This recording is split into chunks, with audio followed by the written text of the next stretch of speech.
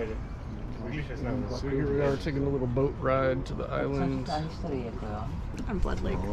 Yes. Oh, Before we depart to Estonia. Kablubla. Yeah. I'm having a breakfast beer.